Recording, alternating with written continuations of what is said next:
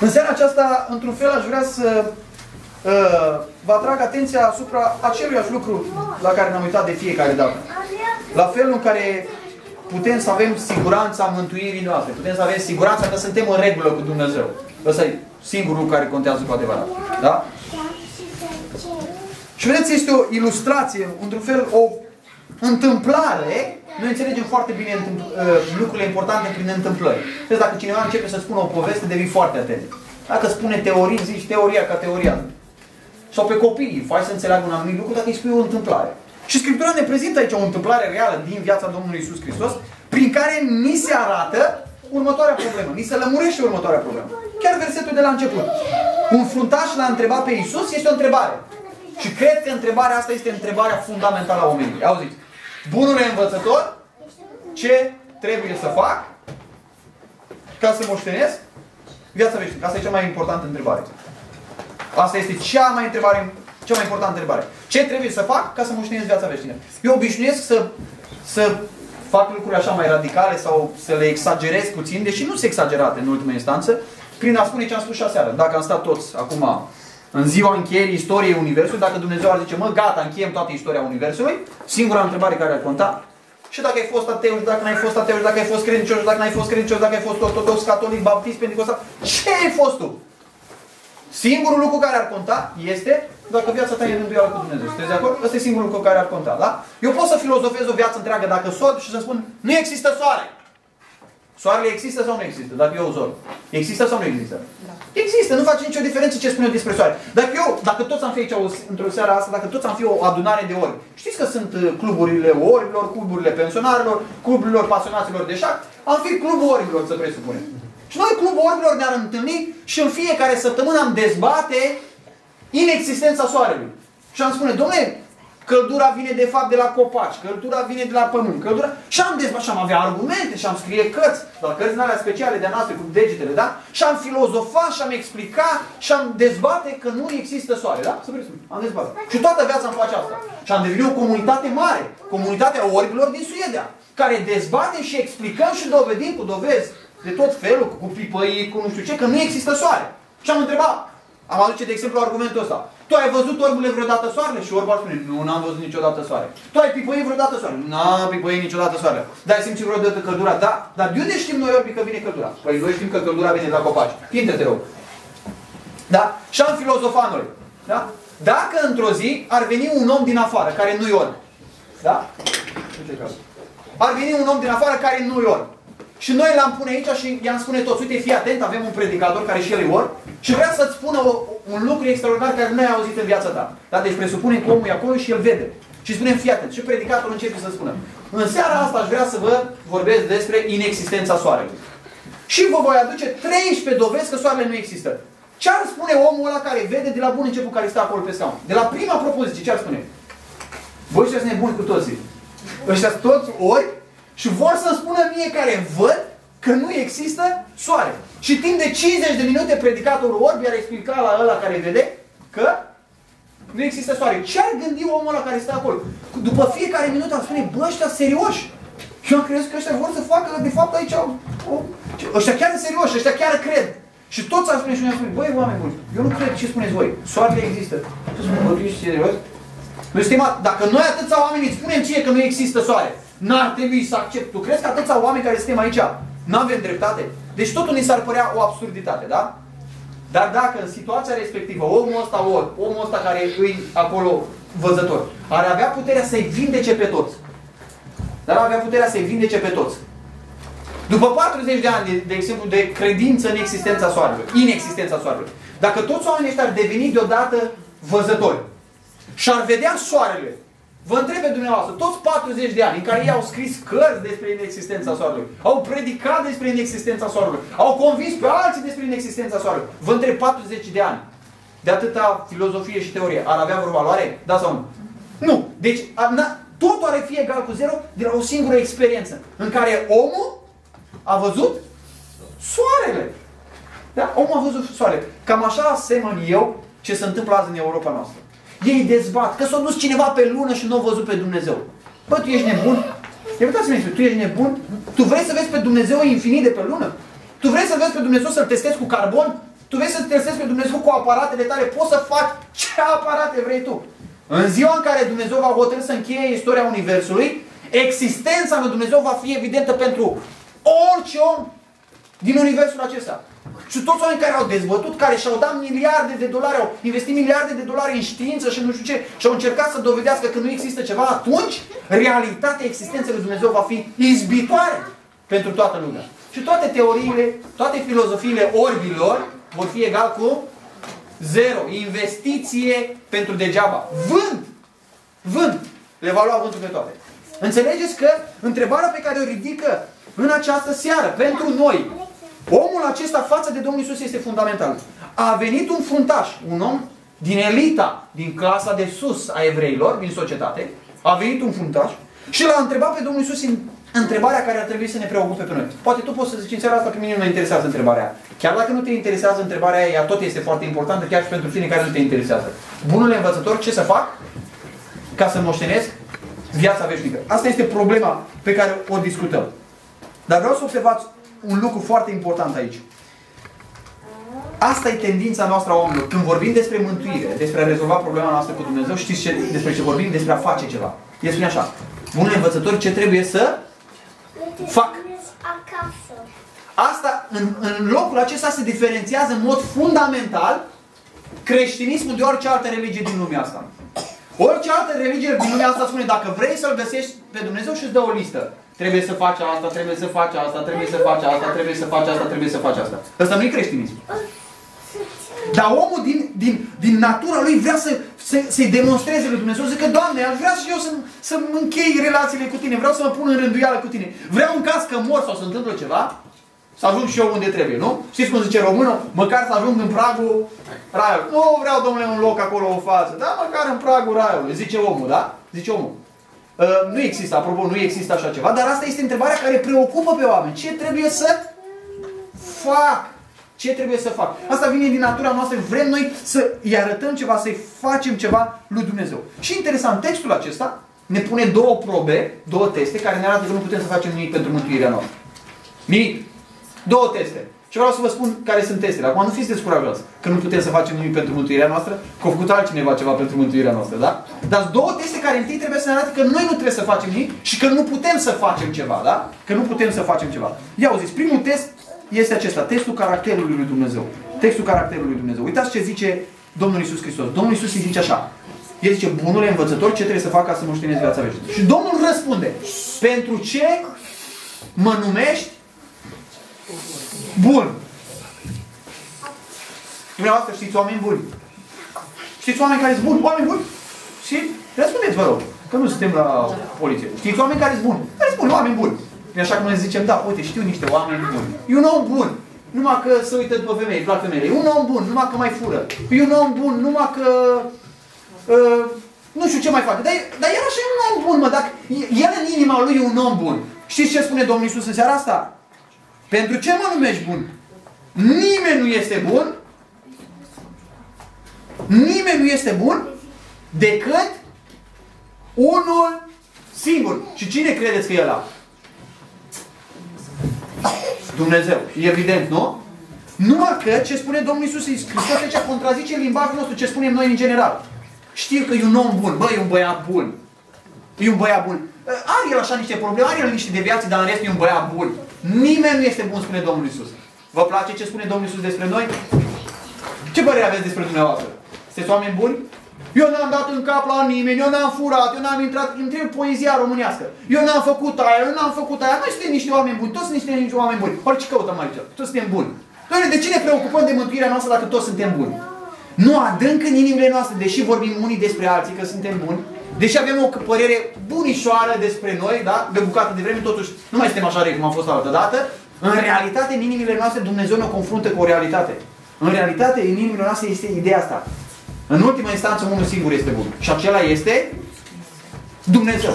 În momentul în care vorbești despre mântuire, despre mântuire, trebuie să ajungi la concluzia că nu poți să mergi pe calea faptelor tale, să produci tu ceva. De ce? Că tu nu ești bun. Și tot ce ai făcut de tine e poluat de păcat. Tot! Tot ce ai făcut de noi este poluat de păcat. Unul singur este Bun. Și acela este Dumnezeu. Ăsta e textul caracterului lui Dumnezeu. Dumnezeu ne pune față în față cu El. Vedeți, Domnul Iisus nu zice, auzi, dar tu ai dat în cap la cineva? Și el zice, n-am dat. Ai furat vreodată? N-am furat. Ai văzut vreodată la femei stricate? N-am fost. A, tu ce ești negru. Nici nu-ți mai bate capul că Dumnezeu o să...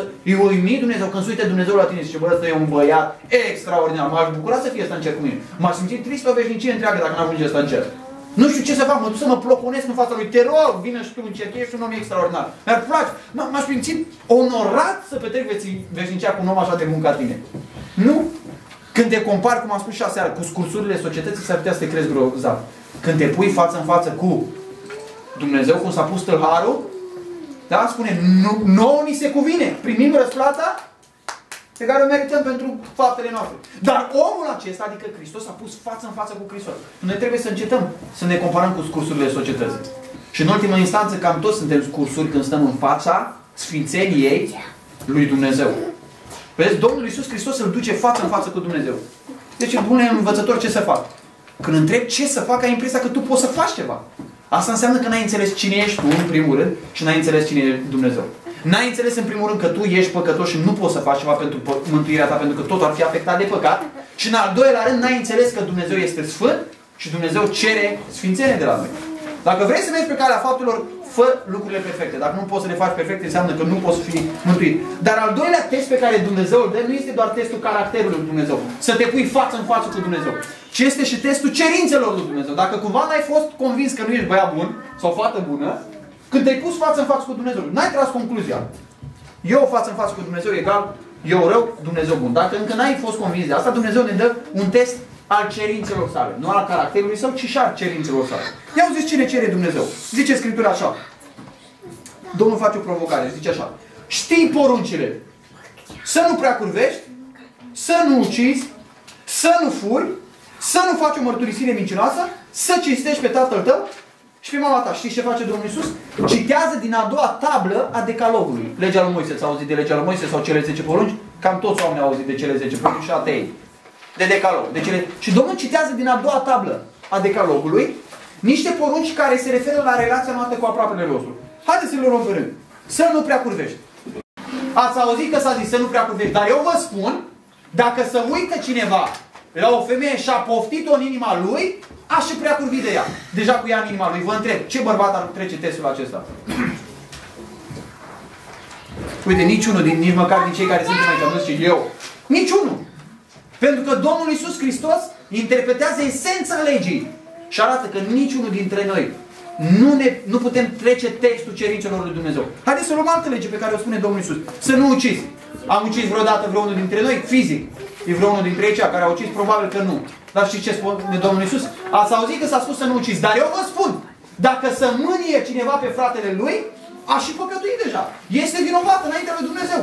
De ce? Știți ce, ce este comun la a te supăra pe nevastă ta și a spune cuvinte urâte? Ce este comun între omul acesta și unul care omoară pe cineva? Ce, ce e comun? Mânia dinăuntru. Mânia care face pe unul să vorbească urât, pe altul face să-i dea două palme, pe altul face să bage cum în el. Dar în spatele la toate cele trei păcate pe care le-am spus, stă aceeași rădăcină. Ce? Mânia. Nervii. Că unii reușesc să-și controlează mânia asta, asta e cu totul altceva. Dar înăuntru clocotește același virus păcătos care ne macină pe noi toți. Mânia. Și putem să luăm toate poruncile pe care le spune Domnul Isus Hristos. Să nu furi. Nu știu, dumneavoastră ați avut copii. Trezești că mergi cu copilul și trebuie să percheziționezi, domnule, cum percheziționează poliția că, pe câte unii. Când pleacă copilul la, la prietenii lui. Să joacă cu ei și vai, cum îngerașul nostru, îngerașul nostru are mașinuțele la, la pruncul ăla la care se stă în casă în buzunarele lui. Și scos mașinuțele, pe ce cauți mașinuțele astea? Satale nu. Dar cum El știe că nu sunt mașinuțele lui? Știa cu ei sunt mașinuțele, dar totuși cu ele în buzunar. L-ai învățat, i-ai spus, Calvin, fii atent, când te duci la alți copii acasă, nu fi prost, mă. Vezi o mașinuță alea care sunt micuțe și se potrivesc în buzunare, îndeasă în buzunare și pleacă așa ca și cum nu te-ar vedea în inimă. Deci fără niciun fel de demonstrare de conștiință. De ce să fie mașinuțele lui și nu a tale? Nu trebuie să fie egalitate. Dacă are el mașinuțe multe și tu ai mai puține să ele. L-ai învățat vreodată pe copilul tău așa ceva? Nici un părinte normal la cap. Nici cei care zrei nu-și învață copiii așa. Înțelegeți? Cine l-a învățat? Așa, asta e tendința. De a deveni proprietar al lucrurilor care nu sunt ale Lui. Sau spune Domnul Iisus Hristos aici să nu facem mărturisire mincinoasă. Și să vă spun mărturisirea mincinoasă a, a, a românilor. Vorbim despre noi, despre cine să vorbim. Frate, cum îți merge? Dar cum să meargă? Ca la toți. A, nu chiar la toți. Ia să verificăm conturile. Nu e chiar ca la toți. La unde merge într-un fel, la unde merge altfel. Odată îți merge într-un fel, odată îți merge altfel. Într-un an îți merge într-un fel, într-un an îți merge altfel. La noi, la români, cam asta se spune în general. Cel puțin în România. Poate dumneavoastră nu mai spuneți așa aici. Am să spunem. Și dacă îți merge bine, dacă îi trece ăsta ceva prin cap, în timp ce ție îți merge bine, poate nu merge bine. Și s-ar putea să îți ceară ajutorul. Și n-ai vrea. Păi cum să meargă? La toți ne merge rău, nu? Păi vezi cum e politica în țara asta. Asta e, la toți ne merge. Cum să ne meargă, domnule? Atâtea taxe, atâtea nu știu ce, la tot. Mărturisire mincinoasă. Și sunt multe feluri în care oamenii fac mărturisiri mincinoase. Ei orice poruncă să citești pe tatăl tău și pe mama ta. Cine și-a ascultat părintele la perfecțiune? Nimeni. În fața caracterului lui Dumnezeu, în primul rând, toți suntem răi. În fața cerințelor lui Dumnezeu, când le înțelegem bine, toți cădem orice fel de test. În fața cerințelor lui Dumnezeu, da? În fața cerințelor lui Dumnezeu. Și în caz că n-ai înțeles nici măcar în fața cerințelor sau principiilor pe care le spune Dumnezeu, Domnul Iisus Hristos uh, uh, merge mai practic. Auzi ce răspunde omul ăsta? Total inconștient. Total inconștient de ce vorbea Domnul Iisus. Toate aceste lucruri, i-a zis el, le-am păzit din tinerețea mea. Total inconștient de realitatea cerințelor lui Dumnezeu, de semnificația cerințelor. Zice, toate le-am păzit din, din, uh, din tinerețea mea, da? Și acum Domnul Iisus, ca să-i arate era total inconștient de ce vorbea și de fapt nu știa ce spune, că nu există niciun om care să fi păzit cerințele lui Dumnezeu, Domnul Iisus îl duce de la principiu la practică. Zice, da, uite, hai să facem o probă practică ca să vedem dacă ai păzit poruncile lui Dumnezeu. Și uitați ce spune Domnul Iisus Hristos. Domnul Iisus îi zice așa, îți mai lipsește un lucru. Măi, ce simplu. Nu uitați întrebarea. Ce să fac ca să fiu mântuit? Ce spune? Am făcut tot ce mi-ai spus tu. Da? Uite, practic. Îți mai lipsește un lucru. Dacă s-ar spune Dumnezeu, fă un singur lucru pentru mântuirea ta. N-ar fi simplu? Bun, numai un lucru. Acum depinde ce lucru. Ia auzi ce spune Domnul Isus. Îți mai lipsește un lucru. Vinde tot ce ai. Acum dacă ai vinde tot ce ai și să-i pune în cont, n-ar fi mare, mare pierdere, nu? Împarte la săraci și vei avea o comoară în cerul. Apoi vino și urmează-mă. Și ce spune Domnul Iisus? Renunță la tot ce ai tu și singurul lucru care se conteze în viața ta să fiu eu. Că de asta spune, vinde tot ce ai în parte la săraci, scapă de tot și vino și urmează-mă. Fă ce spun eu. El zice, cu alte cuvinte, Domnul îi cere două lucruri. Unu, spui că, mai, spui că îl iubești pe Dumnezeu. Cine era trimisul lui Dumnezeu pe pământ? Hristos, nu? Spui că îl iubești pe Dumnezeu, arată-ți dragostea față de Dumnezeu venind după mine. Doi, spui că îți iubești aproapele, arată-ți dragostea față de aproapele tău și dă tot ce ai la aproapele tău. Un lucru care de fapt îți două lucruri, nu? Să vinzi tot la săraș, să-ți arăți dragostea față de aproape și să-L numesc pe Domnul Isus Hristos, să-ți arăți dragostea de Dumnezeu. Toată Scriptura, dacă vă întreabă cineva, Domnule, zi și mie, despre ce e Biblia aia voastră? Mă, Biblia noastră se sumarizează într-un singur, într-o singură poruncă, care are două liniuțe. În primul rând, să iubești pe Domnul Dumnezeul tău, cu toată inima ta, cu toată puterea ta, cu tot bugetul tău și pe aproapele tău ca pe tine însuți. Zice Domnul Iisus, în asta se cuprinde legea și prorocii. Știți un om care să fie împlinit desăvârșit porunca asta? Eu știu pe unul. Omul Iisus Hristos. Care l-a iubit pe Dumnezeu cu toată inima, cu tot cugetul, cu toată puterea lui, încât a coborât pe pământ și zice, eu am venit să fac voia Tatălui și voia Tatălui a fost ca El să moară pentru păcatele noastre. Și atât de mult l-a iubit pe Dumnezeu încât s-a dus până la cruce. A dat prețul suprem. Nu și-a vândut tot ce a avut. S-a făcut sărac, că trăi sărac. Zice, n-a, fiul omului n-are unde să-și plece capul. A trăit o viață la limita supraviețuirii. Pentru noi. La urmă a murit pe cruce. L-a iubit pe Dumnezeu din toată inima lui. Și în al doilea rând, pe aproapele lui, mai mult decât pe sine însuși. Că s-a dus la cruce de la Golgota și s-a dat viața pentru noi. Tu ți-ai dat fiul tău ca să moară pentru altcineva? Puțin probabil. Puțin probabil. Da? Numai dacă nu ți-ar place el. Da. Dar noi facem lucrul ăsta. Însă Dumnezeu a făcut. Și vedeți, Domnul Iisus Hristos a fost singurul om, Fiul lui Dumnezeu întrupat, care a împlinit desăvârșit voia lui Dumnezeu. În fața caracterului lui Dumnezeu, în fața cerințelor lui Dumnezeu, când înțelegi principiul cerințelor, când înțelegi practic, când se pune practic, fiecare dintre noi cred că ne dăm nota minimă. Nota minimă. uh, au avut cineva o vorbă într-o anumită situație, mie mi-a plăcut vorba care a spus-o, zice, stai jos, când a răspuns greșit la o întrebare, stai jos, ai 4, zice, ba nu, s-o răzgândit. 2, că 4 e notă mare. Cam așa suntem noi în fața cerințelor lui Dumnezeu. Mai împlinim noi câteodată ceva, dar în ultima instanță niciunul dintre noi nu trecem testul, da? După ce Domnul Isus Hristos pune proba asta și într-un fel parcă ne pune la zid pe toți, nu? Dacă am încheiat predica aici, ce am învățat? Am învățat că suntem niște păcătoși, că nu putem să împlinim legile lui Dumnezeu, toți suntem vinovați. Ne ducem acasă, dezamăgiți și supărați. Dar Domnul nu rămâne aici. Domnul merge mai departe. Ia auziți reacția acestui tânăr. Ce crezi că a spus tânărul ăsta când Domnul i-a spus vinde tot ceea ce vine și urmează-mă? Extraordinar. Doamne, abia am așteptat. Când știu că l-am întâlnit acum pe Mesia, cel mai mare învățător din Israel. Mie nu mi-a trecut prin cap că mai putea da privilegiul acesta să vin să te urmez. Extraordinar. Doamne, nu mai duc să le văd, să le văd alții. Să ne partă la sără. Vin acum după tine. Asta a fost reacția? Care ar fi reacția ta? Dacă Domnul să spune. Renunță la toată viața ta și vine după mine. Renunță la jobul tău, la ideile tale, la filozofiile tale, la părerile tale, la cărțile tale, la jobul tău, la confortul tău, la casa ta, la mașinile tale și vină și urmează. Spui, Doamne, numai atâta încerc. Păi ce e mașina mea pe lângă urmarea Fiului lui Dumnezeu? ce e casa mea pe lângă? Sigur că dau toate lucrurile, Doamne, că le nu cer mai mult. Care ar fi reacția noastră? Reacția noastră ar fi ca a lui. Care ar fi? Ia auziți. Când a auzit el aceste cuvinte, s-a întristat. Biblia folosește o expresie foarte interesantă. Nu zice că s-a întristat. S-a întristat de tot s-a întristat de tot, adică o întristare profundă care a cuprins toată ființa. L-a afectat. Și asta se întâmplă cu oamenii. Domnul Iisus și asta spune, veniți după mine. Și pe oamenii afectează. Să vin după tine, dacă vin după tine trebuie să las asta, trebuie să las asta, trebuie să las aia, trebuie să fac cum vrei tu lucrul ăsta. Dumnezeu nu, nu o să ceară să dai serviciu să nu mai muncești. Din potrivă, Biblia spune cine nu muncește, nici să nu mănânce. Dar trebuie să muncești după cum îți spune Dumnezeu. Dumnezeu nu zice să lase nevasta, spune, la unii le-ar plăcea să lase nevasta. Dumnezeu din potrivă spune, iubește nevasta. Și când nu-ți convine, și când nu face cum vrei tu. Și asta nu-ți place. Să faci cum vrea El, cum vrea Dumnezeu. Dumnezeu spune, uh, creșteți copiii. Tu ai vrea să-i crești, dar ai vrea să-i mai bubuși, să-i dai la mers. Dumnezeu spune, nu întărâta copilul la mânie. Ah! Și Dumnezeu reglementează fiecare domeniu din viața ta și nu-ți convine. Că Dumnezeu te pune să faci fiecare lucru din viața ta după cum vrea el. Că noi de obicei vrem să facem cum vrem. Noi, pe cine e Domnule stăpân în casa asta?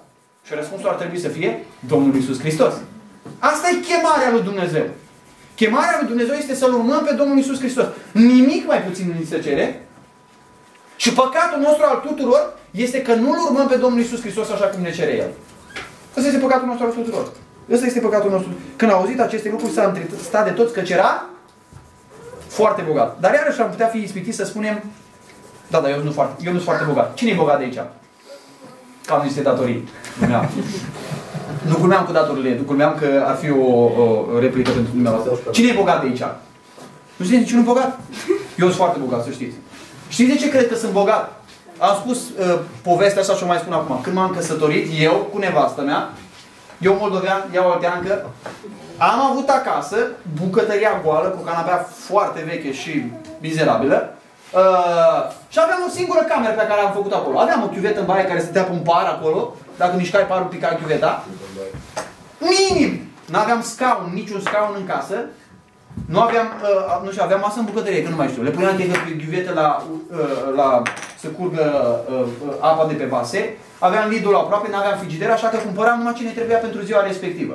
Foarte puțin. Mi-a dus cineva într-o zi, a fost băieți, dar n-are scaun să stea în casă. Mi-a dus un scaun la, nu știu, sunt în România făcute din șipci, așa. Îți puse împreună acolo. Și tot am stat eu pe scaunul ăla, am stat într-o zi să rup scaunul pentru de sub mine și s-a făcut tot numai șipci. Da, așa. N-aveam nici pat, dormeam pe două saltele puse jos, păi eram fericit, să știți. Eram tare bucuroși și fericiți. Aveam ce să mâncăm, într-o zi n-am avut nici să mâncăm. Munceam eu cât puteam, cât mă pricepeam eu atunci, avea Cristina o, o geacă în care am simțit noi că era niște bă, bănuți acolo în ea, dar înăuntru, în cusătură, după cusătură, da? Am căutat gaura până intra bănuții aia, n-am găsit-o nici cum. Așa că trebuie să desfacem geaca, să luăm aia câțiva zeci de bănuți, zeci de bănuți, care erau necesari să ne ce să cumpărăm pâine. Astăzi, vă spun sincer, nu mai pun problema la cumpăra pâine. Nu m-am gândit niciodată, mă, voi avea bani să cumpăr pâine. Că am suficient bani.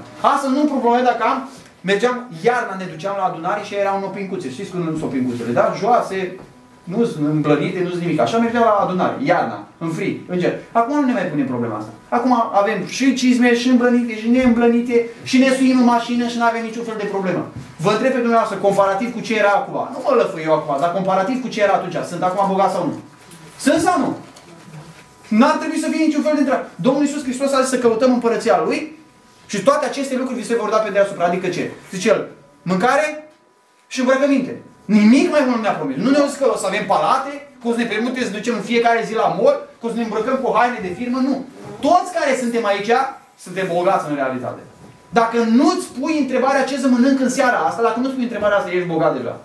Ești mult mai bogat decât am fost eu cum am măsurat și asta nu a fost în epoca de piatră. Asta a fost acum patru ani de zile. Asta a fost acum patru ani de zile, când am trăit lucrurile acestea. Și Dumnezeu, cred eu că m-a lăsat să stau în starea aceea de jos, ca să apreciez ceea ce mi-a dat Dumnezeu acum. Cu toții suntem bogați. Dacă Dumnezeu mi-ar cere să mă întorc din nou acolo și să mă gândesc, oare ce o să mănânc mâine dimineață, că nu știu. Vedeți dumneavoastră, întristarea care a venit peste omul acesta, ar trebui să o resimțim fiecare dintre noi, că toți suntem bogați, toți suntem binecuvântați de Dumnezeu. Când nu recunoști că Dumnezeu ți-a dat trăiești în nemulțumire. Zici, vai, ce rău ne merge noi, nouă, domne. Păi am numai câteva mii de euro pe lună. Da, mă, rău îți merge, mă. A, rău extraordinar îți merge, domnule. Domnule, nu-mi permit să mănânc în fiecare zi în oraș de trei ori. A, rău îți merge. Nu. Ne merge mult mai bine la fiecare dintre noi decât la mulți oameni care trăiesc în lumea asta. Și ce înseamnă necredința? Întristarea acestui om arată ceea ce în inima noastră. Necredința înseamnă să nu crezi că avându-L pe Domnul Isus Hristos înseamnă să ai cel mai important lucru. Și asta n-a crezut. De ce s-a întristat omul ăsta?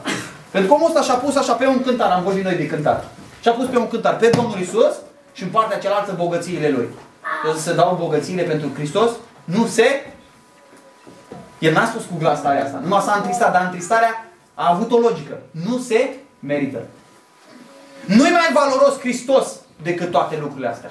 Asta e problema.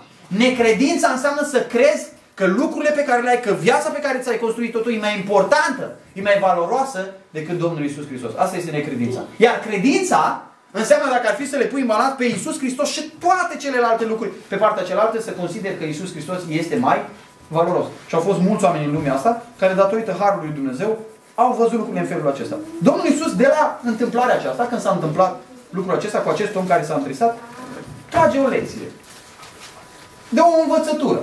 Ca la copilaș. Au văzut oamenii ce s-a întâmplat, toată discuția aceea, au văzut că omul acesta s-a întristat și a plecat întristat, l-a refuzat pe Hristos. Și Domnul Iisus Hristos zice, hai să învățăm ceva din cazul ăsta. Și zice așa, Iisus a văzut că s-a întristat de tot și a zis, ia ascultați. Cât de a nevoie vor intra în împărăția lui Dumnezeu cei ce au avuții. Dar fiți atenți ce spune. Nu spune este imposibil să intri în Împărăția lui Dumnezeu. Este a nevoie, adică greu. De ce e greu să intri în Împărăția lui Dumnezeu când ai avuții? Este greu să intri în Împărăția lui Dumnezeu când ai avuții pentru că inima noastră se lepește foarte greu de avuțiile alea. E foarte greu să dăm drumul la el. Sau e foarte greu să facem cu el ce ne spune Dumnezeu. De asta, asta e problema. În alte evanghelie este spus în alt fel. Cât de a nevoie vor intra, vor intra în împărăția lui Dumnezeu cei ce se încred în avuții. Asta e problema. Deci dacă am avuția asta, domnule, mi-a aranjat viitor, am o asigurare, copiii mei, nu știu ce, îți imaginezi tu că bunăstarea ta și a copiilor tăi și sănătatea ta stau în banii tăi. Nu! Dacă mâine va fi să mori, cu toți banii tăi nu poți să-ți cumperi nici măcar un ceas în plus. Dacă Dumnezeu a hotărât să mori, cu toți banii tăi nu poți să-ți dea niciun doctor din universul ăsta nu poți să-ți dea nici măcar un ceas în plus. Nici două minute dacă Dumnezeu a hotărât să mor. Nici două minute. Este o iluzie a noastră, ne imaginăm că dacă aș avea, că dacă mai mult, o reuși să fac. Știți ce spune Dumnezeu, apropo de asta, ce spune Dumnezeu uh, unui om, într-o pildă, spune Domnul Iisus Hristos, îi spune unui om care și-a strâns mult, și-a adunat și spune, suflete, ai multe bunătăți pentru mulți ani de zile. Veselește-te, bea, mănâncă. Și Dumnezeu îi se arată în vis noaptea, noaptea aceea și spune, nebunule, chiar în noaptea aceasta ți se va cere sufletul și toate aceste lucruri ale cui vor fi. Știți care e nebunia, da? Și poate te-ai chinuit o viață întreagă și ai zis, am fost înțelept, am administrat lucrurile bine și o să fac asta și o să fac alta și vine unul după tine și într-o săptămână îți rizipește, să face praf toată averea. Toată averea. Asta e viața fără Dumnezeu. Asta e viața fără Dumnezeu. Da? Și Domnul Iisus Hristos ne dă o lecție. Cât de a nevoie vor intra în împărăția lui Dumnezeu cei ce au avuții. Da? Nu spune că e imposibil, ci spune că e greu, fiindcă inima noastră se, se lepește de asta. Și spune așa, fiindcă mai lesne este să treacă o cămilă. Știți cât de mare e o cămilă? Zice, e mai ușor să treacă o cămilă prin urechea acolo, ia o oac și pune lângă o cămilă. Ai, e o diferență enormă. E imposibil să treacă o cămilă prin urechea unui ac. Dar zice Domnul, e mai ușor să treacă o cămilă prin urechea acului decât să intre un bogat în împărăția lui Dumnezeu. Și v-am spus, toți suntem bogați. Domnul spune, imposibil. E imposibil când inima ta să încrede în bogății, să alipește de bogății și îl vinzi pe Domnul Isus Hristos ca Iuda pentru 30 de arginți. Sau nu îl vinde pentru 30 de arginți. Poate pentru câteva mii de euro. Sau pentru un trai mai bun. Sau pentru o viață făcută după capul nostru.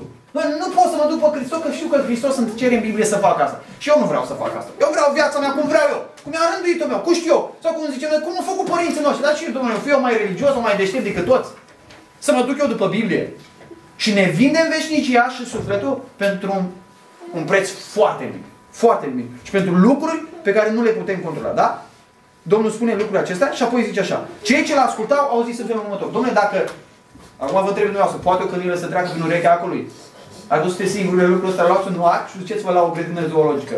Și încercați să treceți măcar un fir de păr a unui cămil prin acul respectiv și ți ceva timp. Va reușit, dar ți ceva timp. Dar nu să treci cămila prin urechea acului. Nu se poate lucrul ăsta, da?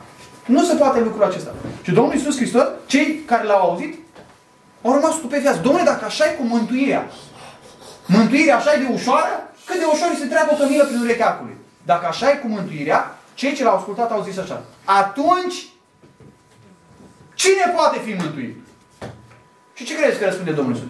Măi, de fapt am fost prea radical. Am exagerat-o dacă stați, mă liniștiți că nu e chiar așa. Dumnezeu se uită la noi ca un bătrânel bunuz din cerul și zice Hai mă, că tăi sunteți copiii mei. Cu ce voi lăsa, vă duceți în iad și să suferiți? Voi lăsa. Lasă-mă, că știm noi. Noi?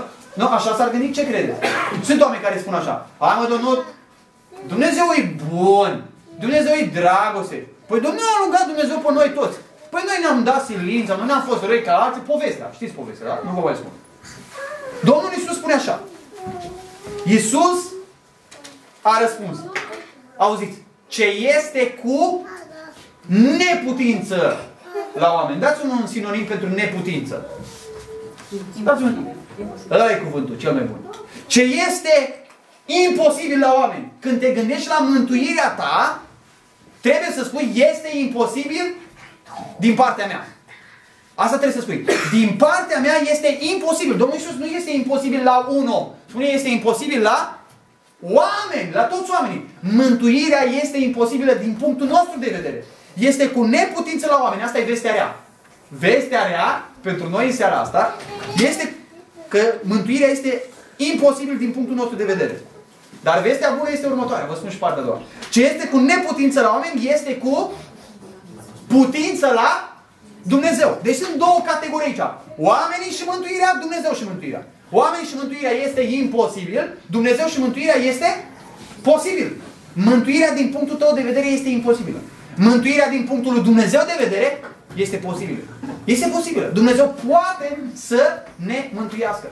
Este și o veste rea și o veste bună. Dar dacă n-auzi vestea rea, nu o să primești vestea bună. Vă dau din nou ilustrația pe care v-am spus-o aseară. Dacă Ionincă nu sau dacă Ștefan nu i-a dat vestea rea întâi, domne, ai o care, dar eu nu o văd. Mă, eu am niște aparate și spun că ai o care acolo. Tu n-ai ochi ca să te uite în spate acolo. Sau să intre, uh, sau să intre ochii tăi în măsea și să vezi ce acolo. Ascultă pe mine, întâi dă o veste rea. Dacă îi dă vestea rea, uh, Ștefan după aceea poate să-l pună acolo la aparate, să-i uh, rezolve carea și după aceea să-i ia bani. Dar dacă nu-i dă vestea rea întâi, nu iasă nimic bun de acolo.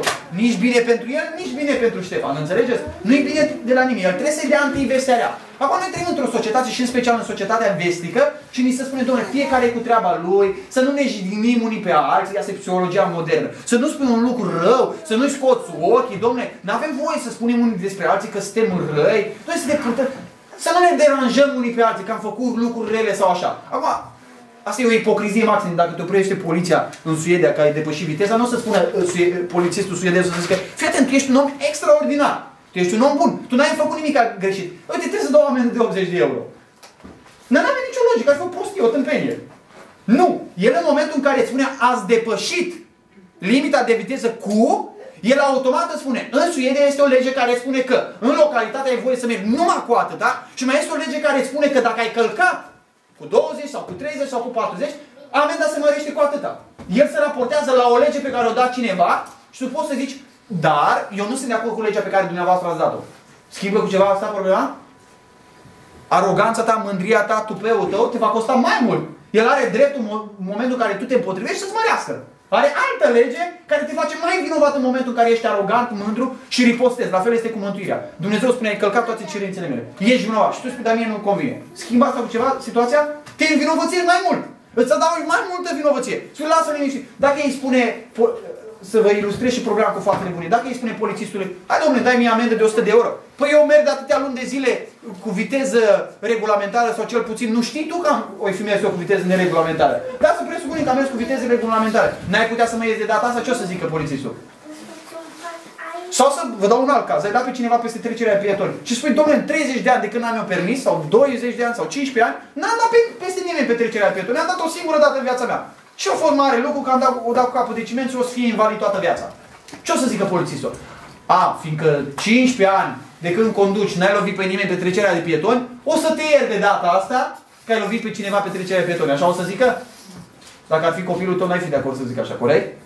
Ai vrea să se aplice? Legea.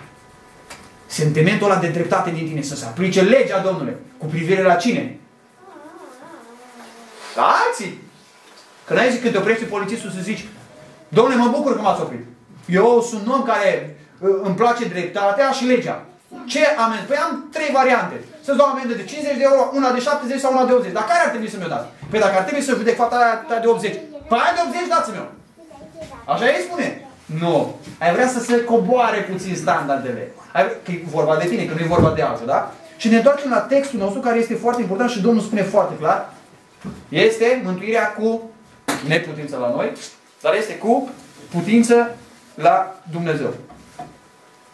Și problema asta a mântuirii este exemplificată acum de Domnul Isus pozitiv. Am avut un exemplu negativ pe ăsta care l-a lăsat pe Domnul Isus și a plecat și avem un, un exemplu pozitiv. Petru, care e unul din ucenicii care lua cuvântul de obicei, spune felul următor. Atunci Petru a zis, iată că noi am lăsat totul și te-am urmat. Vedeți că sunt oameni care l-au lăsat totul? Dar de ce crezi că au lăsat totul?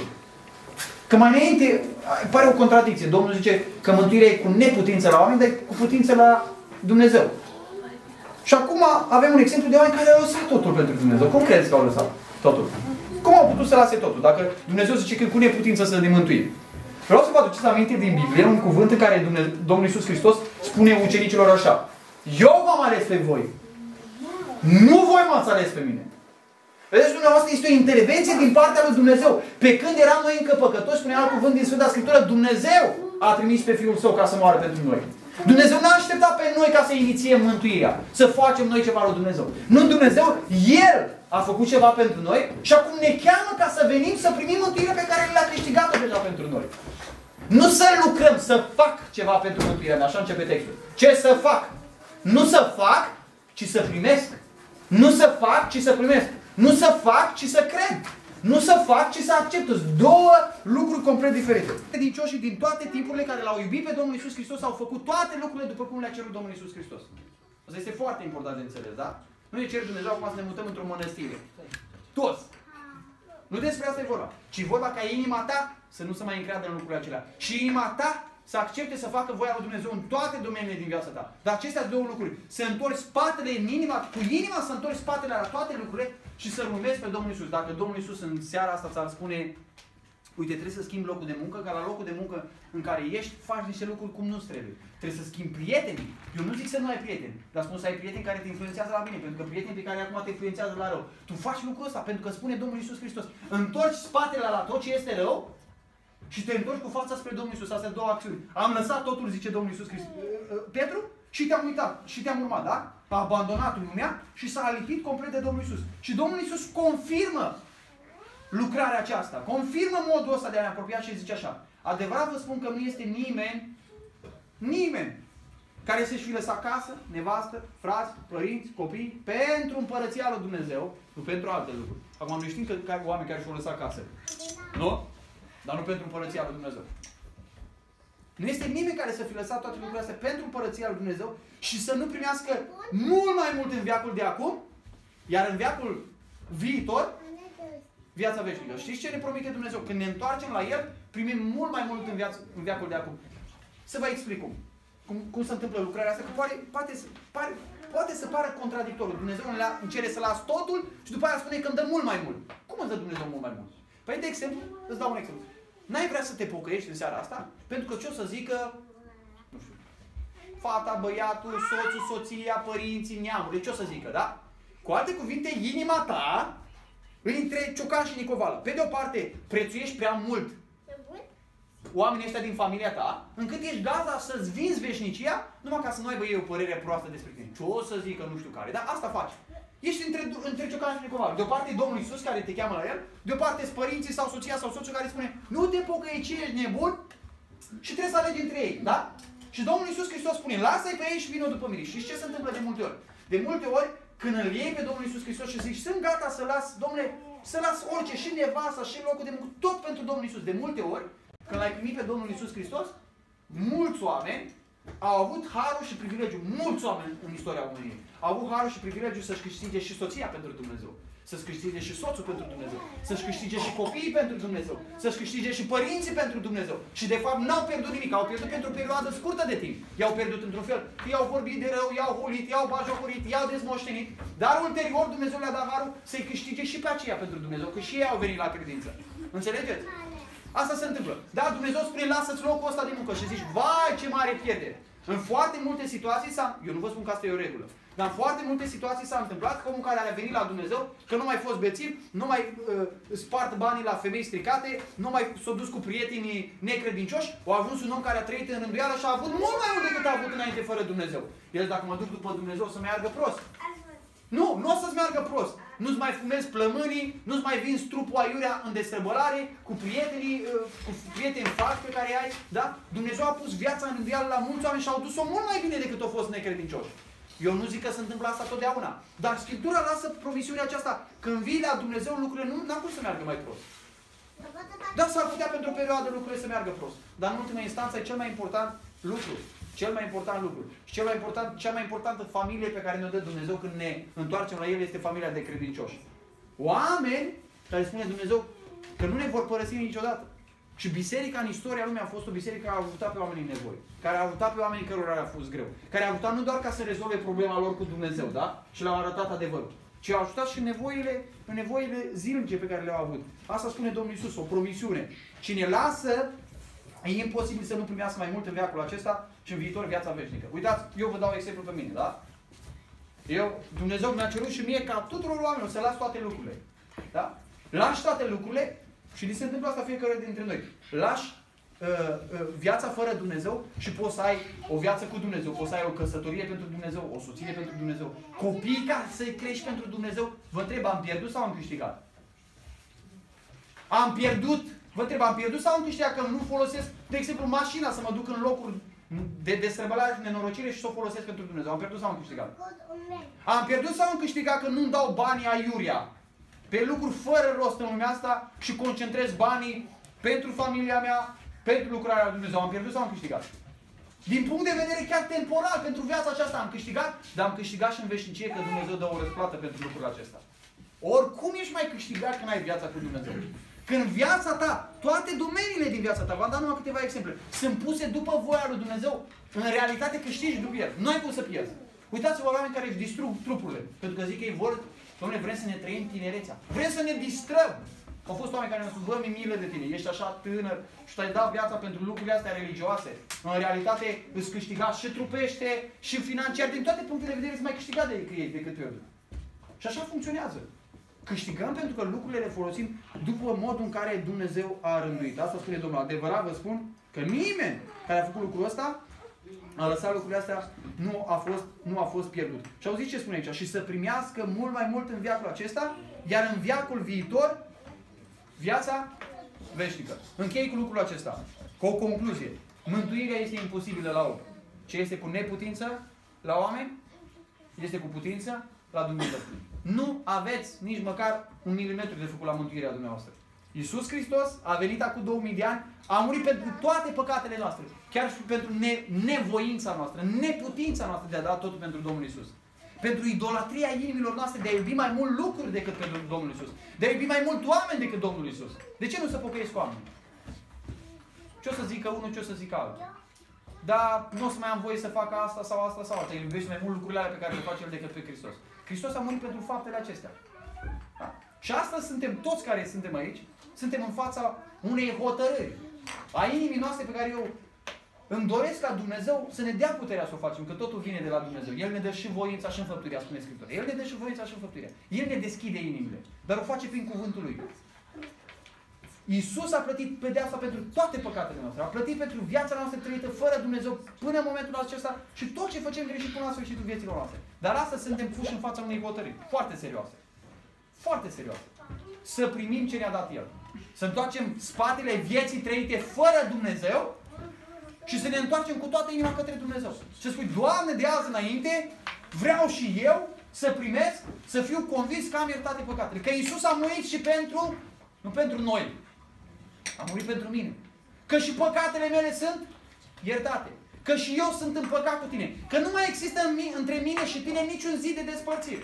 Vreau și eu să am siguranța asta. Asta vrea Dumnezeu să ne dea. Vreau să aud și eu de la Domnul Isus Hristos în seara aceasta cuvintele pe care le-a spus tâlharului. La un tâlhar, la un nenorocit. Ăla n-a fost mântuit prin fapte bune. Astăzi vei fi cu mine în rai. Ar suna dulce pentru dumneavoastră, pentru inimile dumneavoastră cuvântul ăsta. Cum ar auzi urechea să spună Dumnezeu ție, ticălos, nenorocitul? Toți suntem falimentari. Astăzi vei fi cu mine în rai. Astăzi poți să ai siguranța că ești iertat. Astăzi poți să ai siguranța. Ceea ce Dumnezeu cere de la noi și noi facem prin puterea lui Dumnezeu. Ne cere de la noi, dar tot El ne dă putere să facem lucrul așa. Este să întoarcem spatele la viața fără Dumnezeu și să spui, Doamne, de azi înainte, o să mănânc ce vrei Tu, o să beau ce vrei Tu, o să por, mă porc cu nevastă mea cum vrei Tu, o să muncesc cum vrei Tu, o să-mi câștig pâinea cum vrei Tu, o să mă îmbrac cum vrei Tu, o să vorbesc cum vrei Tu și o să fac toate lucrurile astea prin puterea Ta. Nu ca să te mântuiești, ci pentru că ai fost deja mântuit. Dacă ai venit la Hristos, dacă ai primit iertarea lui Hristos, dacă ești al lui Hristos, Hristos din momentul acela nu este doar Mântuitorul tău care te iartă de păcate, ci este și Domnul tău care spune de azi înainte, tu ești copilul meu, tu faci ce îți spun eu. Calvin și băieții mei nu ascultă de mine ca să devină copiii mei. Ei sunt deja copiii mei și pentru că sunt deja copiii mei, ei trăiesc în ascultare de părinților, da? Pentru că părinților îi au deja ca și copii, ei trăiesc în ascultare. Așa este mântuirea. Eu vin la Dumnezeu fără nicio faptă. Este cu neputință să fiu mântuit. Fără nicio faptă. Vin și primesc în dar iertarea păcatelor. Dar în momentul în care am primit iertarea păcatelor și am devenit copilul lui, din momentul acela trăiesc în ascultare de tată. Din momentul acela trăiesc în ascultare de Domnul vieții mele. Acestea sunt, aceasta este chemarea pe care ne face Dumnezeu. Asta e chemarea Evangheliei. Asta e vesta extraordinară. Totul e gratuit. Dumnezeu îți dă mântuirea în dar. Îți dă mântuirea în dar. Dar dacă ai primit mântuirea, ai primit iertarea păcatelor, al doilea lucru care se întâmplă este că te pui sub autoritatea lui Dumnezeu. Trăiești în ascultare de Dumnezeu. Și de fapt, noi, grupul acesta, sau cei care credem că suntem credincioși și am primit iertarea Domnului Isus Hristos, ne strângem aici împreună, pentru că este un mod în care ne încurajăm unii pe alții, și pe Ștefan, și pe Ionică, și pe Daniel, și pe toți care suntem aici, să mergem înainte în ascultare de Dumnezeu. Să mergem înainte de ascultare de Dumnezeu. Și să spunem altora, nu, uite ce grozavi suntem noi. Eu am venit din România să spun ție că îți mântui și tu nu ești. Nu! Eu, care am fost săracul pământului, vorbesc spiritual, că n-am fost niciodată săracul pământului la propriu, da? Care sunt un cercetor spiritual, care nu pot să fac nimic pentru mântuirea asta și care am primit de la Dumnezeu darul ăsta grozav al mântuirii, iertării păcatelor, am venit să spun și ție și la alții ce poți să ai.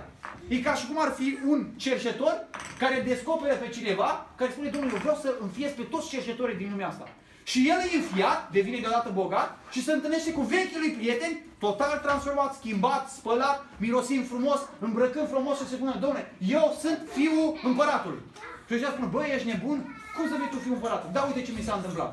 Este un împărat care caută orfani, domnule. Caută pe cei mai nenorociți, pe cei mai jerpeliți, pe cei mai puturoși, îi caută să-i facă copiii lui. Nu vrei să fii tu copilul lui? Ce s-ar întâmpla dacă el a spune? Du-te, măi, prea de tot. Eu nu cred așa ceva. Păi uite-te la mine. Uite, și am și o scrisoare în care scrie Singurul lucru pe care trebuie să-l faci, auziți care? Să lași mizeria ta, groapa ta, canalul tău și să vii la el. E complicat? Vă trebuie complicat? Asta este o ilustrație a mântuirii. Un, cer, un fost cerșetor se duce la alți vagabonzi și la alți cerșetori și le spune, uitați, este un lucru extraordinar. Cineva vrea să ne înfieze, nu cel mai mare om. Și nu însuși Dumnezeu vrea să ne înfieze. Cine vrea să ne, ne îmbogățească spiritual și să ne facă copiii Lui.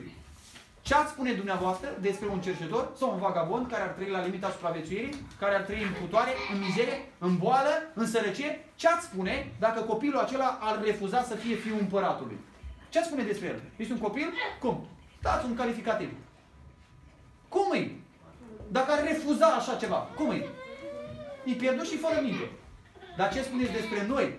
Dacă noi aflăm în seara asta că iertarea păcatului a fost câștigată la cruce de Isus, dacă aflăm că putem să avem o viață extraordinară cu Dumnezeu și noi spunem, eu îmi prefer, unde s-au dus părinții mei, acolo mă duce și nou. Are logică, vă întreb, are logică?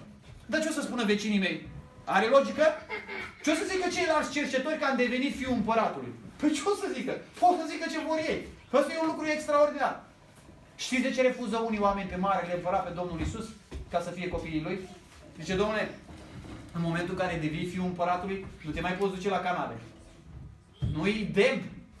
Când devii fiul împăratului, nu poți să ai prieteni toți cercetorii și toți mizerabili. Nu te mai poți droga, nu mai poți fuma, nu mai poți să te destrăbălezi că ești fiul împăratului. Fiul împăratului se căsătorește într-un mod. Fiul împăratului trăiește într-un mod. Fiul împăratului se îmbracă într-un mod. A, eu aș vrea să fiu fiul împăratului, dar cu comportamentele cerșetorului. Nu se poate.